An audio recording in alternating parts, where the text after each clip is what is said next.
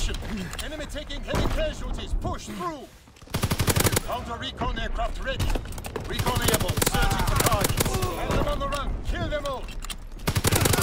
Counter recon aircraft ready.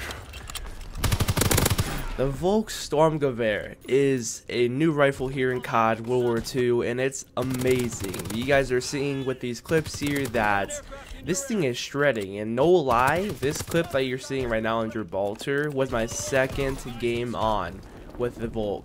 And that clip you saw on Flak Tower was my third game on with the Volk, which is absurd.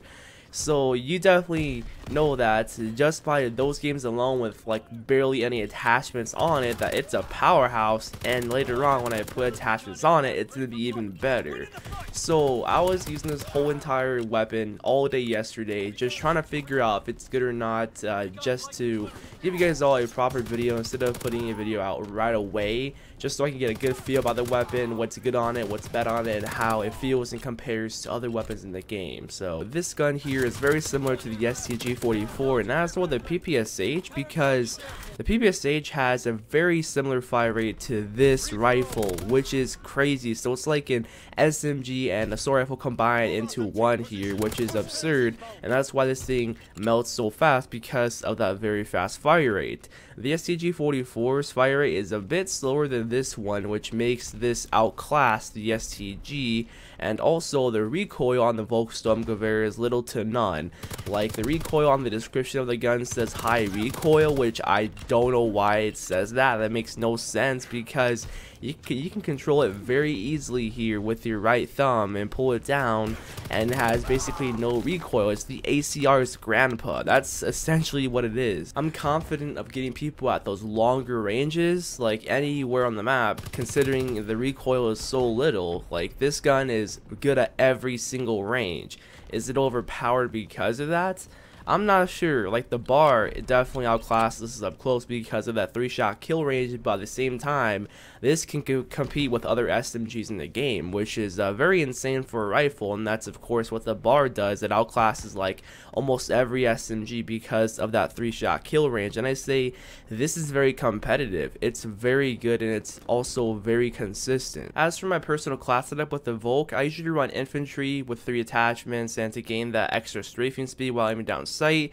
For the basic training, I run either Hunker or Inconspicuous. I run Inconspicuous if I'm playing free-for-all, but if I'm playing Dom or TDM, I run Hunker for sure. For the attachments, run Extended Mags, Rapid Fire, and Quick Draw, but if you don't like the iron sights, then it doesn't hurt to slap on a red dot instead of Rapid Fire, which Rapid Fire isn't really required on it, but still it decreases the time to kill, and then plus adding Rapid Fire doesn't really uh, take any effect on the recoil considering it just has basically none by default it's that accurate guys if you could really control it. So having a Cinemax is great because you're going to be burning through your ammo very quickly so that's a great positive right there to have for quick draw.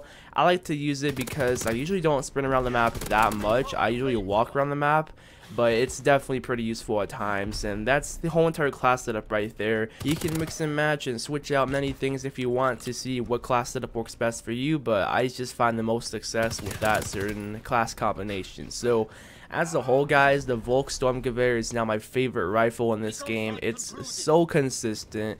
It competes with the PPSH up close and other SMGs, and it's definitely probably the second to best rifle now. I say the bar, it's still the best rifle because of that three shot kill range, but then the second best rifle goes to this one here for sure. It's better than the STG there's honestly no reason to use the STG anymore because this one simply outclasses it. So guys, don't use the STG, just get this rifle here. It costs us 23,725 armory credits, so it's worth your armory credits guys, definitely. But if you want to get it for free, then it's just like the winter event from last time, how the weapons rotate every single like a day or so from Major Howard's special order. So the Volk actually might be there. You have to activate the special order and complete it to get the Volk, and that's how you can get it. So that's the entire video, guys. Let me know your thoughts down below about the Volk. Is it overpowered? Is the new favorite rifle now here in this game? And I'll see you on the next one. Peace out.